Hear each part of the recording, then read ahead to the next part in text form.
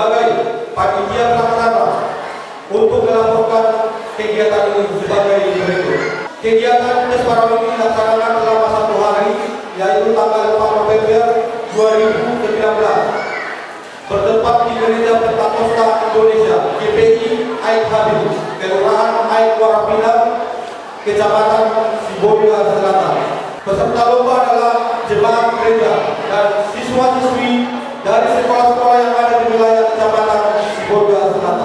Kepada Bapak Syafri Sinambela sekaligus membuka secara resmi dengan pembukulan doa kepada Bapak Syafri Sinambela pemuda terpadu dengan persilakan. Salam. Salam. Ibu hadirin yang kami hormati, merupakan wadah untuk memperkokoh persaudaraan inter dan antar umat beragama, sekaligus berdampak positif bagi keimanan dan kerohanian umat. Dengan menyanyikan lagu-lagu hidup pujian untuk mengungkapkan rasa sujud syukur dan penyembahan, memohon dan memuji kepada Tuhan Yang Maha Esa merupakan suatu tanda kepasrahan di mana kita mengakui bahwa Allah lah yang berdaulat atas diri kita.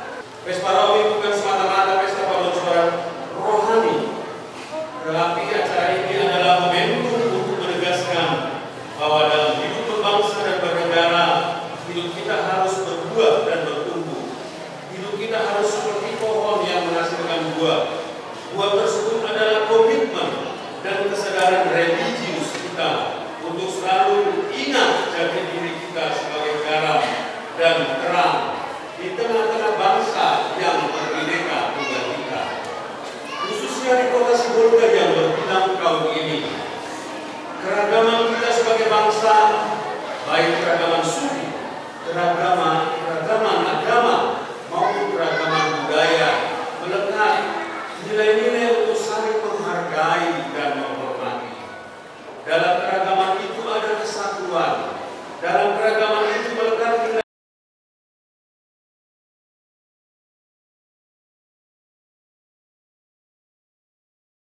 Dengan izin kita semua dan ridho dari Tuhan Maha Esa Pesparawi, Kecamatan Sebuah Selatan, tahun 2011 resmi dibuka.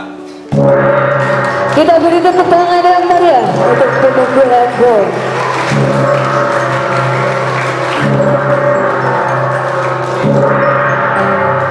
Dengan pemukulan gol, maka Pesta Penuhan Surat Mejawi Peskarwi Kecamatan Sibolga tahun 2019 dibuka.